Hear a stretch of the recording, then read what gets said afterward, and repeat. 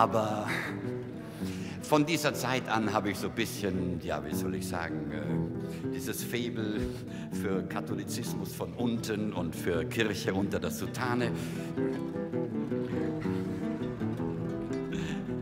Und es war so, dass äh, wir so mit elf, zwölf in diesem Heim, da haben wir so um zehn, halb elf, wenn der Pater, der unser Einschlafen bewachen sollte oder überwachen sollte, dann endlich weg war, dann haben wir uns äh, auf die Bettkante gesetzt und haben angefangen zu philosophieren. Wir haben uns die großen Fragen der Menschheit gestellt. Mensch, wenn man so sieht, wie groß das Universum ist und wie klein wir dagegen sind. Boah. Und äh, jeder von uns hat sich wie ein kleiner Sokrates gefühlt, so ein Bonsai-Philosoph.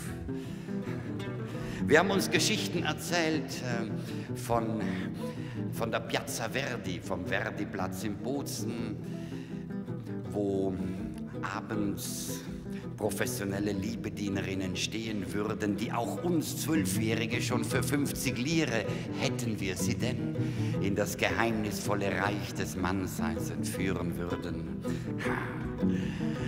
Ich habe mir die schweißnasse Hand hinter das erigierte Ohr gehalten, um jedes Wort mitzubekommen.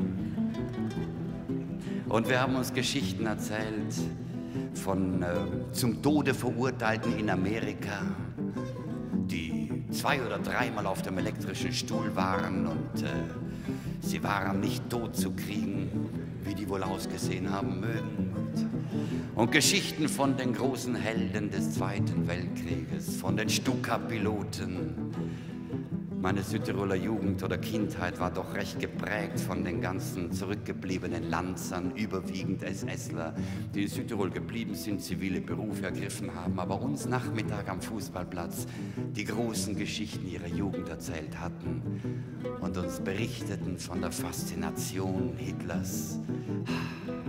Es waren Nächte, in denen wir Kinder, Jungs da saßen, Nächte voller Neugier, Nächte voll von diesem Geruch dessen, was wir für den Geruch des Lebens hielten. Nächte voller zitternder Erwartung.